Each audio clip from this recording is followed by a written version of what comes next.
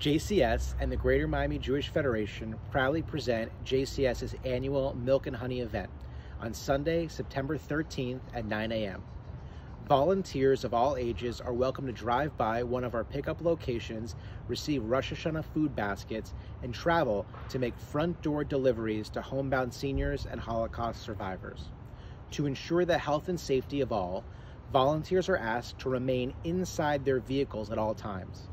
Volunteers will drive through one of our pickup locations, open your trunk, and we will load food baskets into the trunk of your car.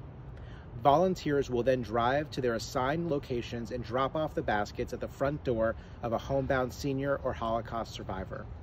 Masks and gloves are required by volunteers for the contactless drop-off visits. The Rosh Hashanah food baskets are underwritten by Matt Lapatan and the Mildred Palace Endowment Fund.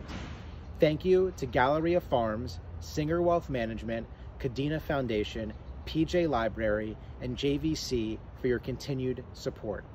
And a heartfelt thank you to the Michael Ann Russell JCC, the Dave and Mary Alper JCC, and the Miami Beach JCC for your partnerships. Hope you can join us for this meaningful morning of joy and purpose for all. You can register to volunteer at the link below, jcsfl.org backslash contactless milk and honey. Thank you and be safe.